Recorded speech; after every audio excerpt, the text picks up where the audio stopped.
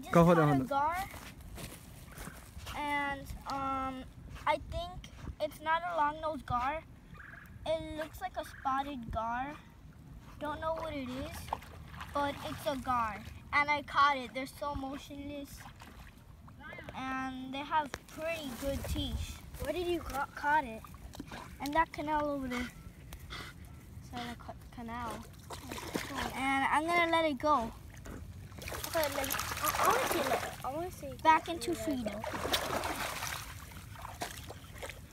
There it goes.